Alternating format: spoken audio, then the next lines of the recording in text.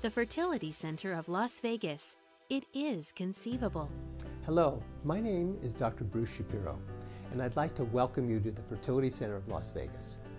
What I'd like to do first is talk about the reproductive system itself.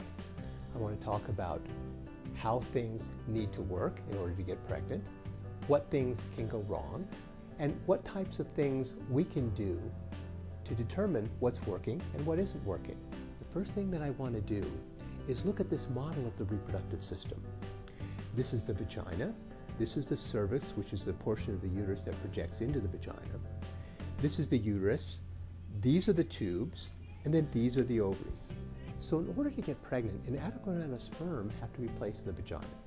The sperm swim through the cervix, up into the uterus, and then into the fallopian tubes. At the same time, an egg has to be released by the ovary, picked up by the end of the tube, and then propelled into the tubal lumen where fertilization occurs.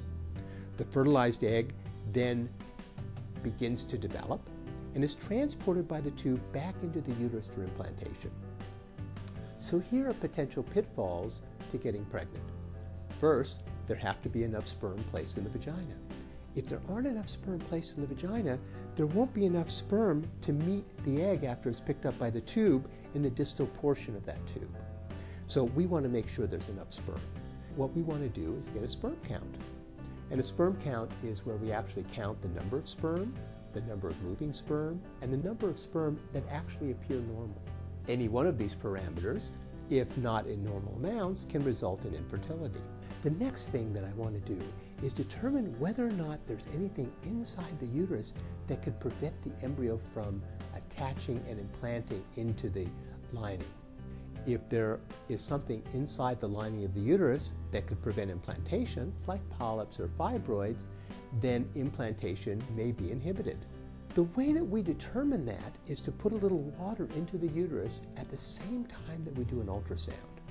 In this way, we'll be able to determine if there's anything projecting into the cavity that could prevent a physical barrier to implantation of the embryo. So we want to find out if any of those things are present because they're all fixable. Think of it as a flower bed where you throw seeds on the flower bed. The seeds that land on any rocks in the flower bed won't be able to touch the soil and germinate. And it's the same thing with the uterine cavity. The next test that I want to do is send you to the radiologist, and the radiologist is going to put dye through the tubes and do an x-ray at the same time. In this manner, the radiologist will be able to determine if the tubes are open or patent as we call it.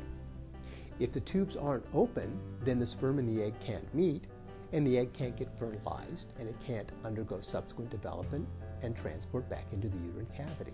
The next thing that I want to do is look at the ovarian reserve.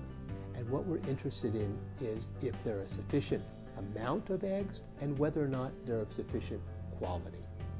And the way we do that is really twofold. The first thing that we want to do is determine what the FSH level, or follicle stimulating hormone level, is on the third day of your menstrual cycle. The follicle stimulating hormone level should be very low on the third day. And when we compare it to the normal tables, we can determine whether or not your pituitary gland has to work extra hard or not to make eggs. The next thing that I want to do is count the number of eggs that you recruit each cycle from the total ovarian pool of eggs for development in any one particular cycle. And what we do is called an antral follicle count. What we measure are the very small follicles or little cysts in the ovary that are precursors to egg formation that are present in the early part of the menstrual cycle. These are small little cysts measuring about 2 to 8 millimeters in diameter, and they're easily identified on the ultrasound. And we're going to get a count. You'll be right there, and you'll know exactly what the count is as soon as we do. And in this way, we're going to try to determine what your ovarian reserve is. As you know, in women, they're born with a finite number of eggs.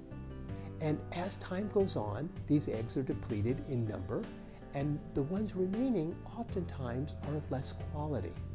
We want to see where you are specifically in that, in that cascade of events that ultimately leads to menopause. Now, for most women, um, menopause doesn't occur until well after the age of 40. The problem, however, with many women is, is that well before menopause, the number and the quality of the eggs is insufficient to be able to support a pregnancy. We want to see if you're one of those women. Now, with all of these tests, we're going to sit down and we're going to determine for you what's working and what isn't working.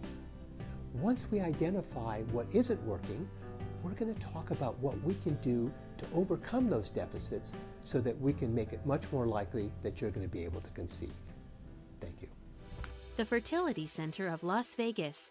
It is conceivable.